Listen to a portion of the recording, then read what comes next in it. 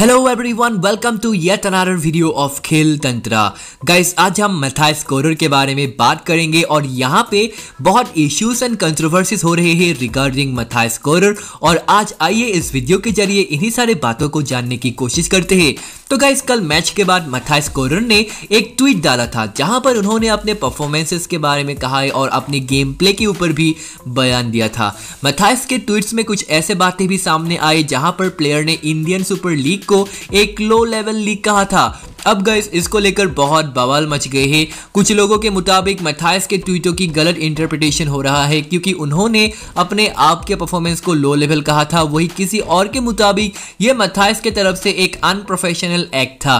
किसी भी professional player को ऐसा नहीं कहना चाहिए। Well guys to decide who is wrong and who is right here we need to see कौन कहा क्या कर रहे हैं। हम घर बैठे टेलीविज़न में फुटबॉल देखते हैं और प्लेयर्स फुटबॉल के फ़ील्ड पर अपने फैमिली से दूर, अपने देश से दूर खेल रहे हैं। ऐसे में आईएसएल में अगर मथाई स्कोरर का मन नहीं लग रहा है तो ठीक है यू कैन यूज़ इस फ्रीडम ऑफ़ एक्सप्रेशन और अपने आप के बारे में ट्विटर पे वो पोस्ट कर सकते हैं। अगर कोई फैंस मैथाइस के साथ एग्री नहीं करते हैं तो भी सही है।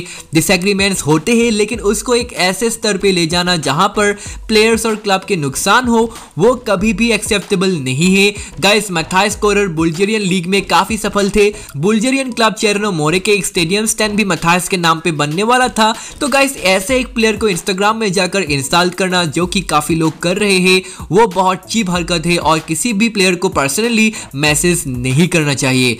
ठीक है, अगर मैथाइस स्कोरर नॉर्थ ईस्ट मतलब एफसी को छोड़ना चाहते हैं he can leave we are grateful that Mathias ने अपने अनुभव के साथ हाईलैंडर्स को रिप्रेजेंट किया। आईएसएल को अगर कोई लो लेवल लीग बता रहा है तो इसके बारे में जाँच किया जाएगा। ऑल इंडिया फुटबॉल फेडरेशन के डिसिप्लिनरी कमिटी है and they will take actions लेकिन गाइज़ हमें सोशल मीडिया टेलीग्राम ग्रुप के टॉक्सिसिटी को बर्दाश्त नहीं करना चाहिए। सोशल मीडिया को सही तरीके से इस्तेमाल कीजिए और फुटबॉलर्स को सपोर्ट कीजिए। क्योंकि गाइस दूसरों को जज करना बहुत आसान है, लेकिन अपने आप कौन क्या कर रहे हैं, वो कोई नहीं देखते।